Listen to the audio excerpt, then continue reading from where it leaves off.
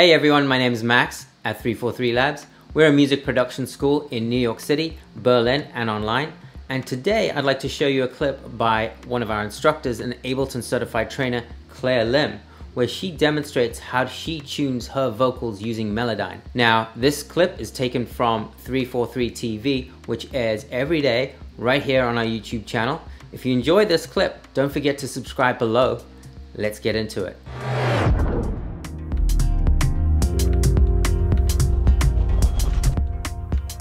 So let's go ahead and do some tuning. I'm excited for this. Let's just do something very quickly with um, Melodyne. This was requested as well quite a lot from last season, so I'm glad that we can bring it this time.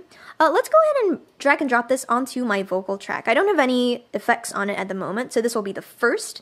But check this out. Yay, we've got Melodyne over here.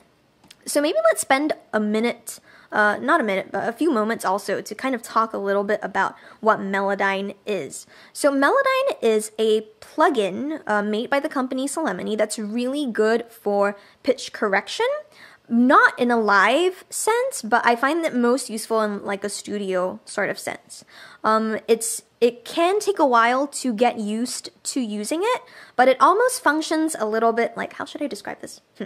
Um, well, we'll see how it works actually. That that's a, a, a good place to start. I'm also gonna go ahead and move this but the way Melodyne often works is you have to have some kind of audio signal coming in that you want to tune. So in my case, it's going to be vocals. I will say that I've used Melodyne on a ton of things. I like using it a lot on guitars as well. If you've ever um, had a guitarist who maybe was very enthusiastic, maybe in playing a guitar solo, but sometimes their tuning went a little bit off, you can use Melodyne to help you with that. Uh, you can also use Melodyne for creating harmonies, which I think is very fun. I like doing that a lot as well. But in this case, we're just going to use it um, in a little bit more of a uh, utilitarian kind of sense where we tune stuff. Um, so let's go ahead and click on transfer inside Melodyne. I'm just going to make sure also that you can see this. Yes, you can. Great. I'm always concerned about, maybe it's my Zoom syndrome. I'm always like, are people actually seeing this or not? But let's go ahead and click on the transfer button. Now we see it's red. And now when I play this back. Not gonna record, just press play. We're gonna get a transfer of whatever audio signal I have into the Melodyne um, plugin. And in the meantime, uh, let's see if anyone is anyone able to guess what key this is in. I know what key it's in. If you have if you haven't a perfect pitch, let us know. Uh, maybe maybe I'll give like a virtual cookie to whoever knows what key we're in.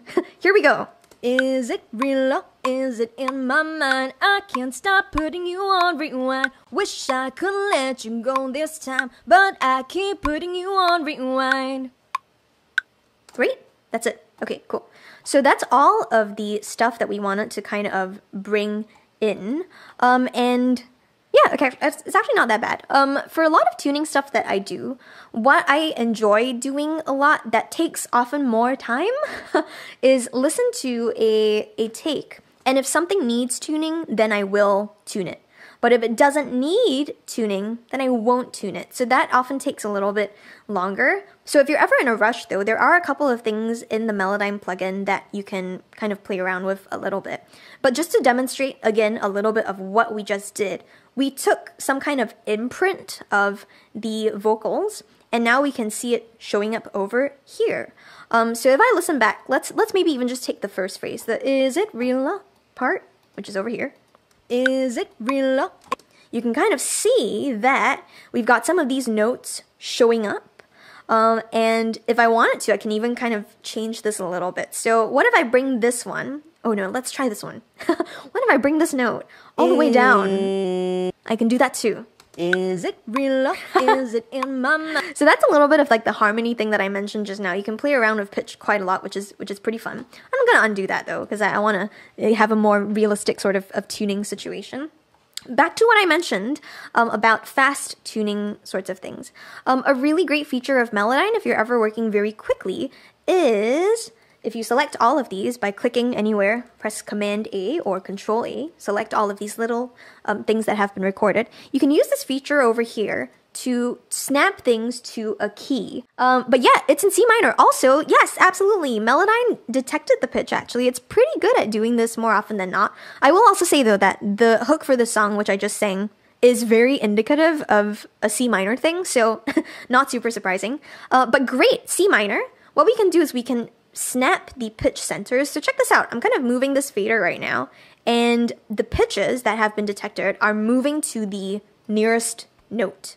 Um, I can also move them to a C minor scale if I check this box that says snap to C minor. Now we see a couple of things have moved, um, but you'll hear when I play this back that some things now sound worse, which is something to, to keep in mind. So I'm just gonna click OK, and let's see what we think. I'm also gonna turn off the metronome so we have a clearer sense of this. Is it real? Is it in my mind? I can't stop putting you on rewind. Oh, oh, Wish I could let you go this time, but I keep putting you on rewind. Okay, cool. So, some stuff sounds really great, which is cool. Other stuff, especially any kind of like melismatic stuff, um, sometimes Melodyne struggles with it a little bit, which in this case you can see that it does. so it kind of did a little bit of a weird thing over here, for example. Um, so what I'm going to do in this case is tune, edit this a little bit more finely. The truth is that my original performance wasn't actually so bad. So if I were doing my long-winded method, I would have probably just skipped over that. But let's go ahead and split this up um, you can do this in, in Melodyne using a couple of the tools that they have. So you can split up detection of something. Also this one over here, let's do that here. Boop, ding, boop. And now you can see them move around a little bit. Uh, let's listen to this part. I think it was in probably in the fourth bar. Putting you on. Yeah, over here. So what I want to do in this case is the same thing I did just now. A little bit of the tuning things. Putting you on. There we go. Putting you on rewind a little better, but I do think the original is actually good, so it's okay. For the purpose of, of this stream, we'll keep it as that. And this one also, I think, should be there. Great. Let's bring this down. Should be uh. here. So now let's take a listen again.